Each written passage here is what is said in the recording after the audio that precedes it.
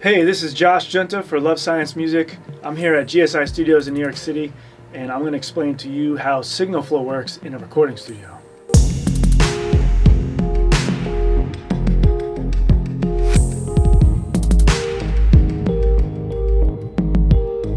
So I'm going to give you a little tour through the studio of how a signal flow travels from the live room to the control room and then what it does once it's here. But before I do that, let's talk about what is signal flow. Well, an acoustic sound, such as my voice speaking, becomes a signal when it gets converted to an electrical pulse. So for example, I speak into a microphone and that microphone, the capsule of the microphone vibrates, my voice moving the air molecules makes the capsule vibrate. And then the microphone converts that vibration into an electrical signal. The electrical signal goes out of the microphone, through the cable, into the wall, and then through whatever pieces of gear I choose to send it to in the studio as the engineer. And then that signal after the gear gets put into the computer, which gets recorded into your recording software such as Pro Tools, Ableton, Logic, or whatever. All right, so let's pop into the live room and I'll show you how a signal first starts its path through the signal chain. Okay, so right now we're in the live room here in GSI Studios and uh, I have a, a, few mics set up here for a session we're doing tomorrow, but right now you're looking at a Telefunken U47. So our signal flow starts in the live room. The very first part of a signal flow is the actual musician or the instrument. So in this case, uh, you know, this microphone is going to be for a vocalist. So a vocalist starts the signal by singing something or saying something into this microphone. So the sound source speaks into a microphone, sings into a microphone. Sound waves actually make the capsule vibrate because the capsule is that sensitive to, to molecules moving around in the air. And then the microphone converts that vibration into an electrical signal. So it's converting acoustic energy into uh, electrical energy. That electrical energy gets sent out of the microphone through the mic cable. And in this case, the mic cable is going over here through this cabling into our next stop, which is the microphone panel. So every studio has a number of microphone panels. In GSI, we actually have a microphone panel in every room of the studio. So this is our main live room. This has uh, 24 inputs on this XLR panel. And then as you see over here, um, we have three booths right in front of me.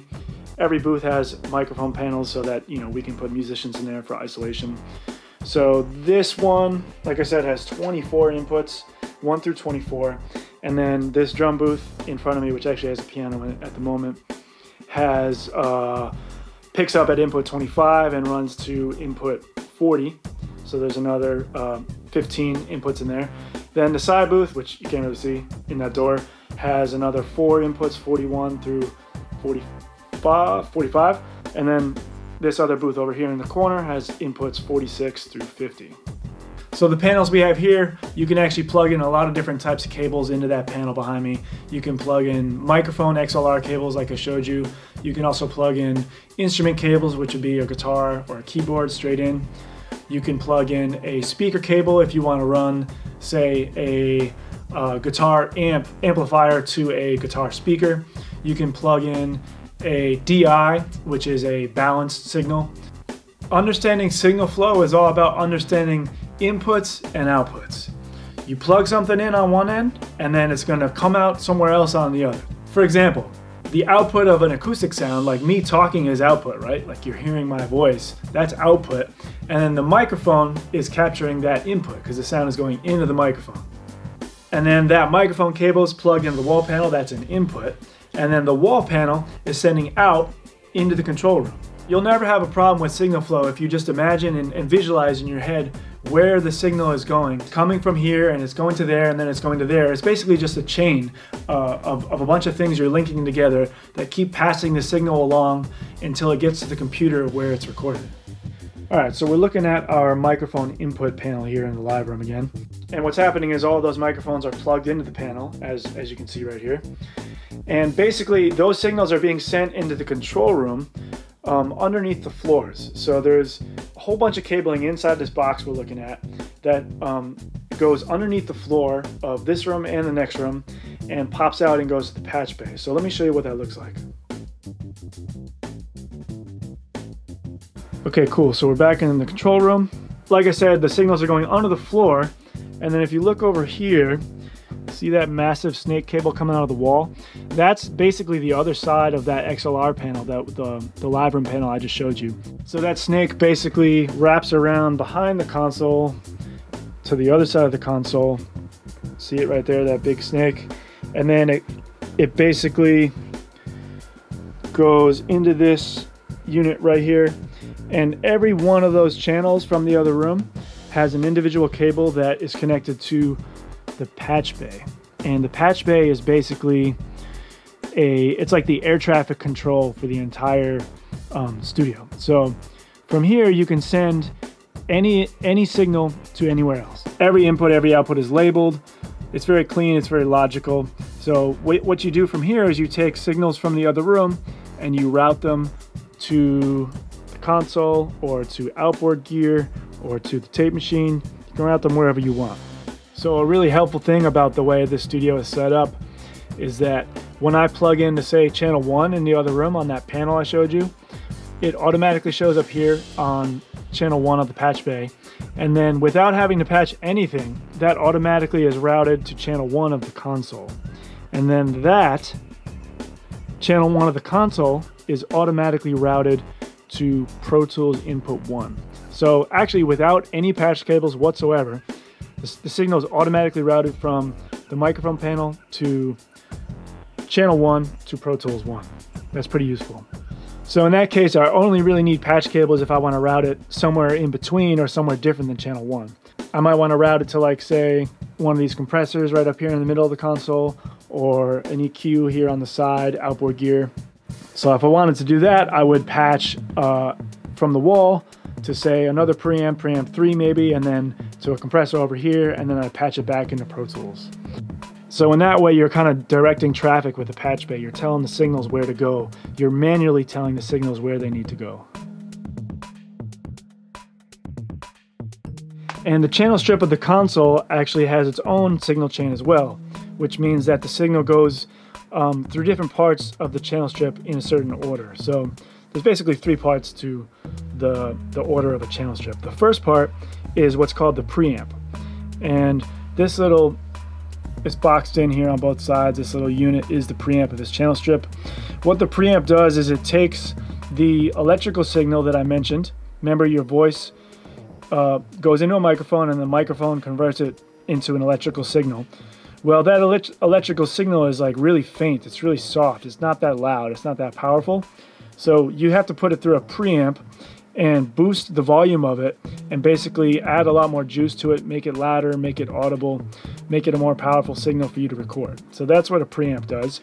This here is the gain of the preamp or the volume. And this, this turns up the signal itself coming from the microphone. After the preamp, in within the channel strip, the signal gets sent out of the preamp up to the EQ of the preamps. If I want to use it, I have to activate it, and then I can, you know, boost or cut frequencies up here. The output of the EQ is routed to the fader portion of the channel strip. So I like to think of it as like the preamp is the input gain, and then the fader is like the output gain of that signal. The output gets sent to Pro Tools uh, by default. So channel one of the console is automatically routed to input one of Pro Tools. So all I have to do to hear this in Pro Tools is uh, take a channel on Pro Tools, an audio channel, um, set the input to input one, and then press record, and I should have the signal if I did everything right.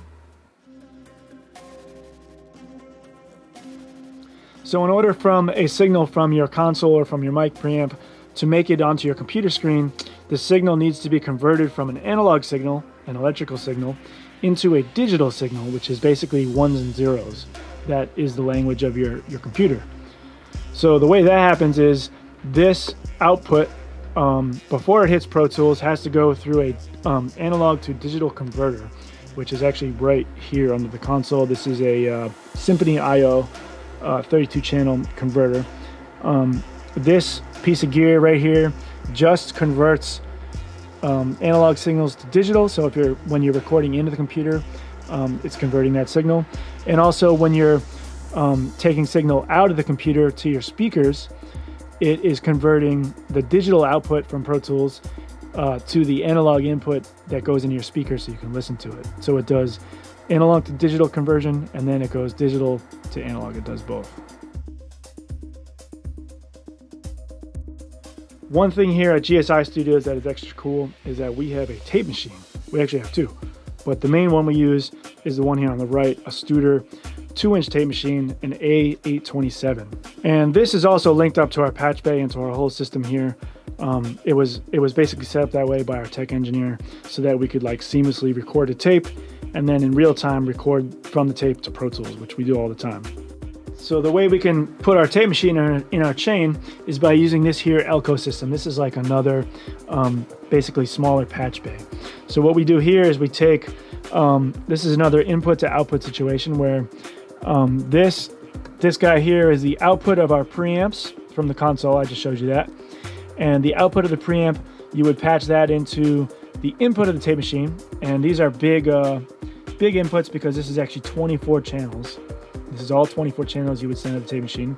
So you go from uh, preamp output to tape machine input, and then this is tape machine input going straight into Pro Tools. So without any patch cables up here, I can just record straight from the microphones to the board, straight to the tape machine, which is pretty sweet. So I hope that's really helpful. That's the signal flow in this here studio. So it's all based off inputs and outputs. If you have an issue, if you're not getting sound, just mentally trace the signal path and you'll usually find somewhere where you made a mistake or somewhere where something is not operating correctly. I hope you enjoyed it. I'm happy to answer questions in the comment section and give me a like, give me a subscribe. Peace.